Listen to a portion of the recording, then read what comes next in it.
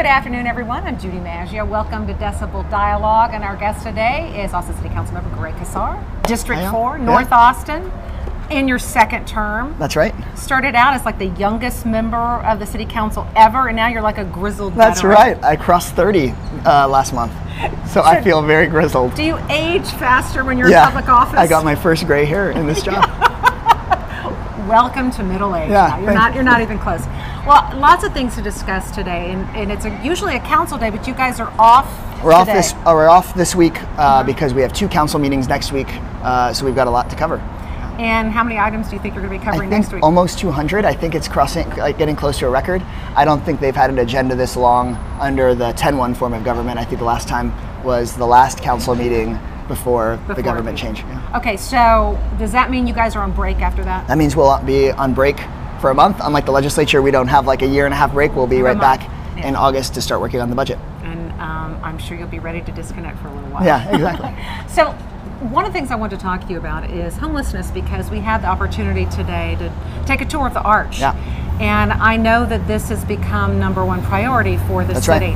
So, I want to talk first of all about the ordinances, which I think will be up for a vote on all of Next week, those. yep. Yeah, all of those items. Among those items will be the homelessness ordinances.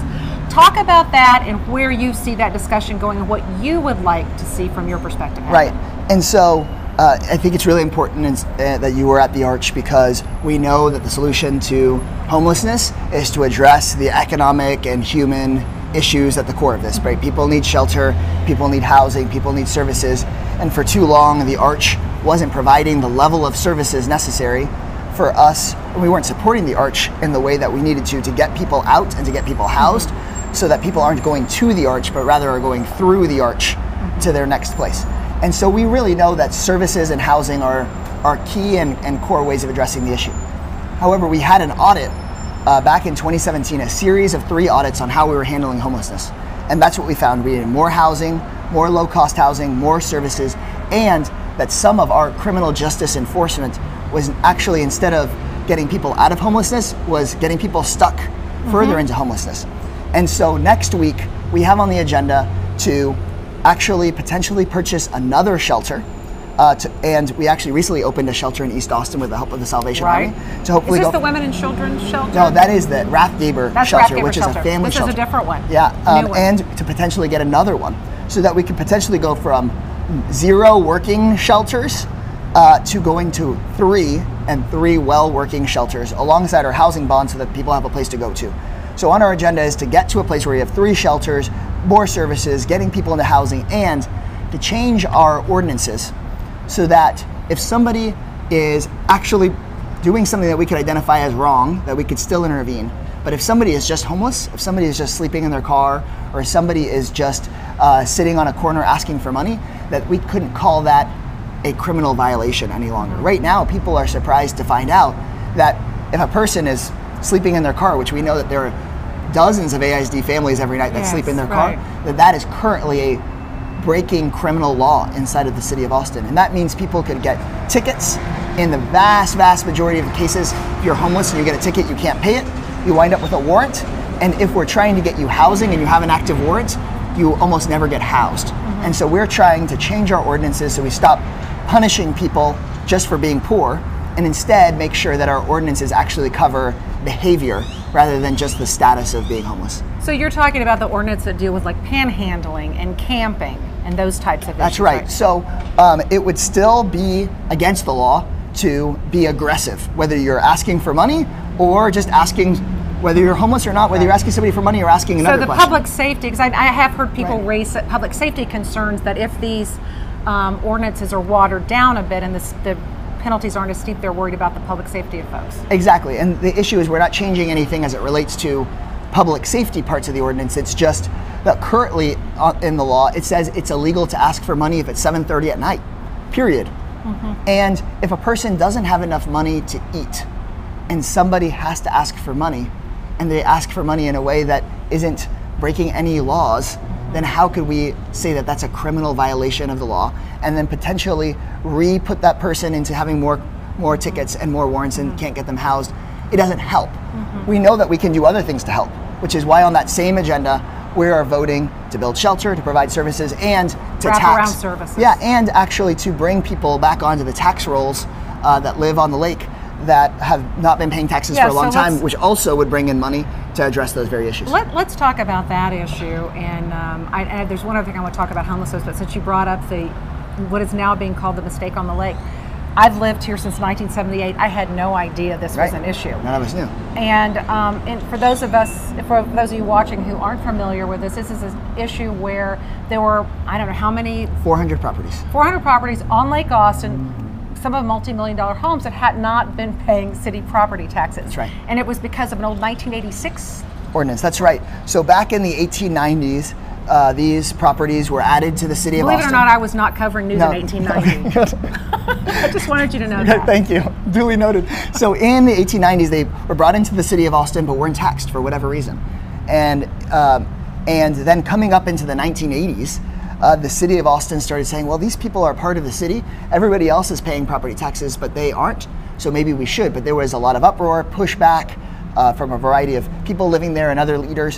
So in 1986, the city council actually wrote into law saying these 400 properties wouldn't have to pay city taxes. Um, and in fact, nobody, and then it really wasn't talked about very much.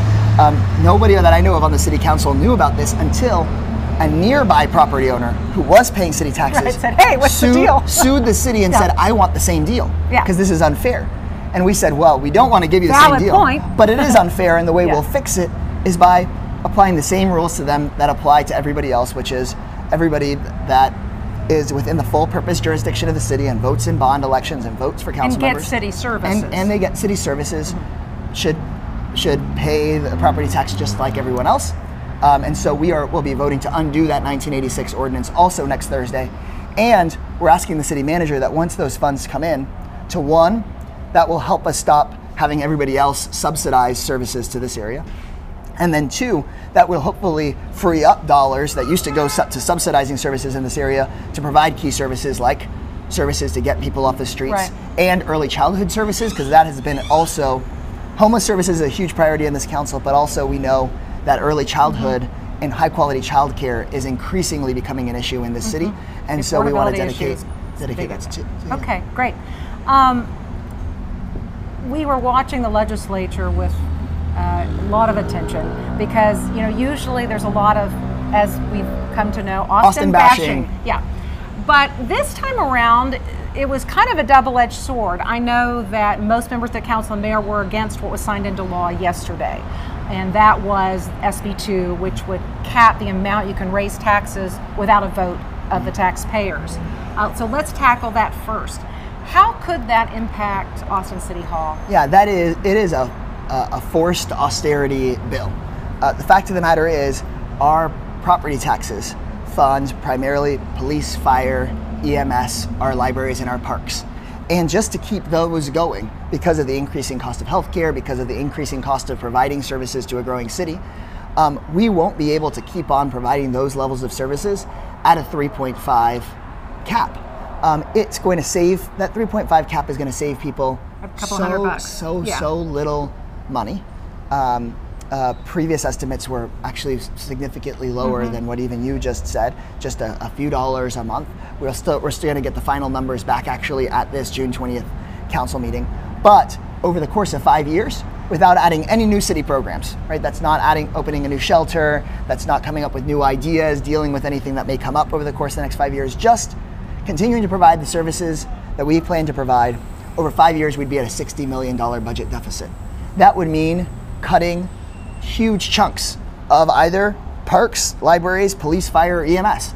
It's not because we're picking on those, that's what property taxes pay for. Right. And so um, we will most likely, I imagine, at some point either um, have to go to an election and go to the voters uh, to try to keep our city going because we're not going to make, I don't want to be a, on a council making draconian cuts to basic fire service or to basic EMS Right. service or shutting down libraries. And so my hope is that we will be able to show voters what Greg Abbott wants our budget to look like and what Austin's budget should look like. And, and, and we'll have to sort of have that conversation. So, before we talk about some of the other issues before the state legislature that, that didn't get axed as someone might have predicted, What do you say to people who are having to move out of the city because they can't pay their property taxes? They're probably saying, "Hey, 100 bucks a year or however much it's going to save, that'll help a little bit." Yeah. Well, the fact of the matter is, the vast, vast majority of the property tax increase that people see and feel is their school district taxes. And the legislature also signed into law putting more money into the school system, which will reduce some the property tax burden. I don't think they went nearly far enough, but the property tax decrease that they will see will be almost entirely because of funding schools Right, a little bit yeah. more. Anything that they see Yeah. um, is largely not going to be based on the revenue cap.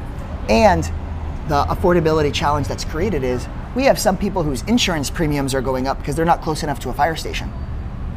If we can't add fire service, the, the people's loss of insurance premium is going the people's increased in insurance Right. it will could very well eat up any potential mm-hmm. savings not to speak of all the public safety challenges that that comes with or you know we go to library and we can go to library for free not being able to go to a library having libraries shut down for maybe a couple bucks saved a month that that isn't worth it i don't think um, the real burden that people feel um, is the increasingly rapid uh, increased valuations of people's homes, which we need to address by adding more housing in the city, um, and in different kinds of housing types. And then two, they're not adequately funding the school system, and so the the school tax has to go up. Well, yeah, and the school tax is the biggest part of your ta- property tax bill, so that makes sense that, that the impact comes from there. And the increase is, and the increase in taxes isn't just proportionate to how big the school tax is. Right. The actual school, uh, as they continue to not fund public schools, then they just make it up on the backs of Austin taxpayers. Um, I do want to talk about the issues that people were worried about, and these were two issues you were very involved in, and that's fair chance hiring and uh, paid sick. So, um, what efforts were made on the part of City Hall, and were you surprised that, that the legislature didn't go? yeah, Austin bash back. You know, we we did everything that we could. People showed up and filled the hearings. People testified in the Senate and at the House for hours. That we had way more supporters of sick days and fair chance hiring than there were opponents. Um, and also, we had a lot of solidarity. I mean, these uh, laws that the legislature was promoting would have taken away people's right to sick days, would have taken away people's right to fair chance. They also would have nullified our non-discrimination ordinances. So they were attack on the LGBT community as well. And so we had people. They had they banned uh, scheduling laws, basically taking away people's right to a water break working in the Texas sun.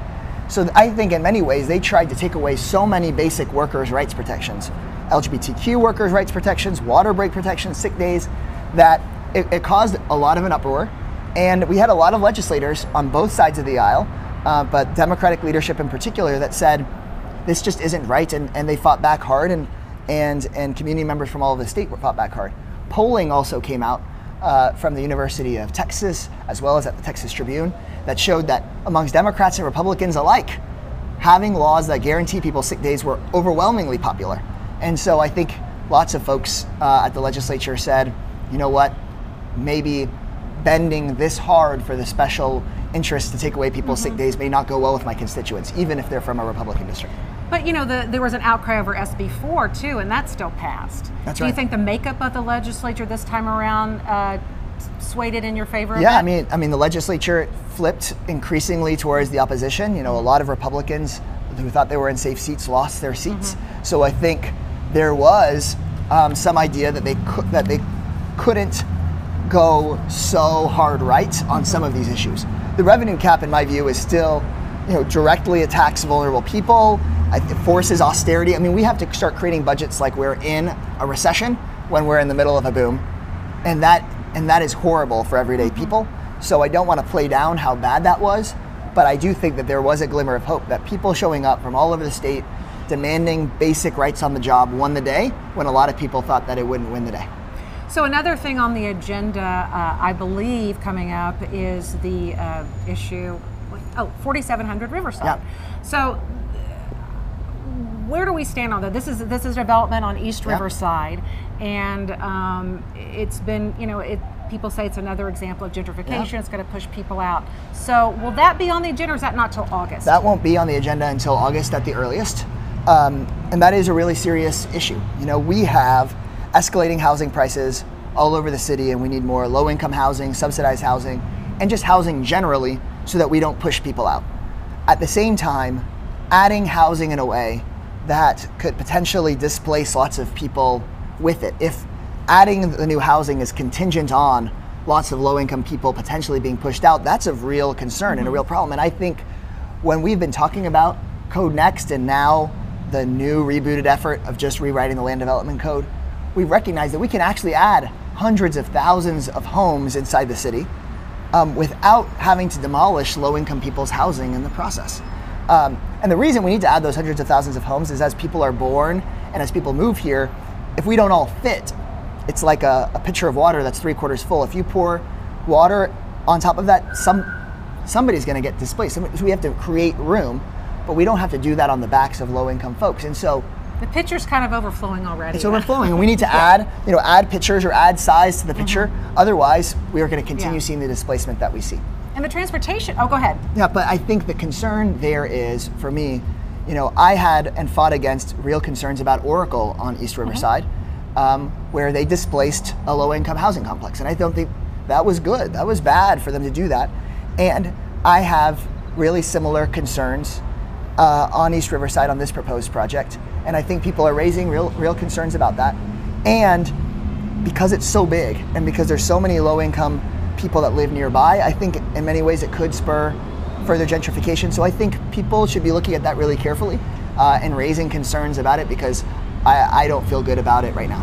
Okay. Yeah. Um, transportation is something we focused on for the last couple months at Decibel, and and I have a feeling that in 2020 we're going to see a, a big a transportation bond. Uh, where are we with transportation? Because for you know for a city that is so on the cutting edge in a lot of different ways, we're not so much on public transit. We are yeah, we're behind. kind of way behind. Yeah. So, what what's being discussed? Yeah, right now what we are talking about is how do we get more people in and around the city outside of traffic, right? Because there's just no way. I mean, if you could turn these cameras around, right, we could see all of the cars stuck in front of us.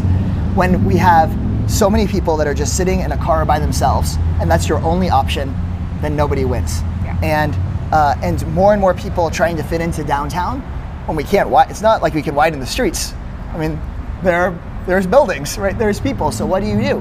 The, the only solution that has existed for you know decades and decades, but we haven't really picked up as much here in Austin, is to get people into mass transit, which moves way more people, way more efficiently, and we can do it outside of traffic. Yeah. And so the hope and the idea is to work with the community to come up with how, in its own pathway, we can get either rapid buses or trains or a combination of the two, where you can get lots of people back and forth from home and into their job or to pick up their kids or to see f- friends and family in a way that you're not sitting in traffic, which might mean we need to build sidewalks so that people can more easily walk to the mass transit. Mm-hmm. We know it, we need it to be reliable. We know we want people to be able to show up and know that within the next 10 minutes it's going to come and that it's not going to get stuck in traffic with everything else, so it's going to get there fast enough. So that means dedicating lanes um, or dedicating pathways, and the discussion is whether that should be buses, whether that should be trains, whether it should be a combination of the two, and where that mass transit should go. And don't forget about scooters. And don't forget about the fact that some people may scoot one way or the other. I'm more but about. now there are rules in place. And now right? there's rules in place. I actually like the e-bikes yeah. better. I feel like those are more reliable and stable. Yeah. yeah. Some people choose the scooters, but I, I'm I'm more of a bike person. Anything else we haven't covered that you, you would like people in Austin to know that is on the agenda before you guys break and to, to watch out and, and come possibly come speak out on? Yeah. something they care about. Some, something else, uh, a couple of other things that I put on the agenda for the last council meeting is one, uh, preserving and protecting mobile home parks in the city. So in years past, city councils rezoned mobile home parks to become single family subdivisions or office parks because I don't think they were really valued at the time in the way that now we recognize those are pockets of diversity. Those are affordable places for people to yeah, live, and we should definitely, definitely affordable. And we should plan them out of the city. And some of them actually are still nearby uh, major job centers, but they've been planned out. So we're actually going to rezone them back to mobile home to try to preserve those neighborhoods as, as an asset. And that's, and I think we're going to have a pretty strong vote. I think a lot of council members support that, and I think it goes to show how culture and attitudes and our values shift, mm-hmm. and, and I'm proud of that. And we're also going to be working um, with the University of Texas to come up with a plan for the old Home Depot at St. John's and I 35 in the middle oh, of right. my district. that's been city owned It's for a long time. right? And try to create services and recreation and affordable housing in a way that brings people back to a historically black neighborhood that's facing a lot of gentrification. And so, in lots of ways, I think this council meeting where we're going to be trying to house homeless folks and stop putting them in jail so much and to bring tax fairness to the city and to preserve mobile homes and to try to bring people back that have been pushed out in lots of ways, I think is sort of our direction of trying to figure out how we become the inclusive sort of place that we purport to be. But so often in my time on council, I've found that we've got some places that we really need to make change if we actually want to live up to the hype, and, and we're trying to do that. And it's hard, and it's not going to be perfect, but we're Yeah. but we're fighting and we're trying. All right. Thank you so much, Greg. Because I have one final question Yeah. for you. Okay. Tomorrow morning at Leadership Austin, um, I'll be moderating a panel with the mayor and two regional mayors. Anything you want to ask them? You know, I think that uh, getting uh, real regional buy-in on this mass transit system will be really important because federal dollars and state dollars, oftentimes they ask a region what they think. Could depend on them. Yeah, and and I think folks eh, need to understand and recognize that if this is where so many of the jobs are, that moving people around inside of Austin is good for the region too. And so asking for their support in that way, I think will be really important. And I hope, and I think that they understand that. But that I think talking about how Austin needs mass transit will need some level of regional buy-in. All right, Greg Casar, thank you so much for sharing your thoughts. Yeah. Big, big week next week for the Austin City Council. Two days of meetings, Yeah. almost 200 items on the agenda. If you are a City Hall follower and like to have your voice heard, come on down and, and uh, make your voice heard and, and listen to what's going on in your community. Thanks so much for sharing your time with us this afternoon here on Decibel Dialogue. I'm Judy Maggio. We'll Thanks, see you y'all. next time.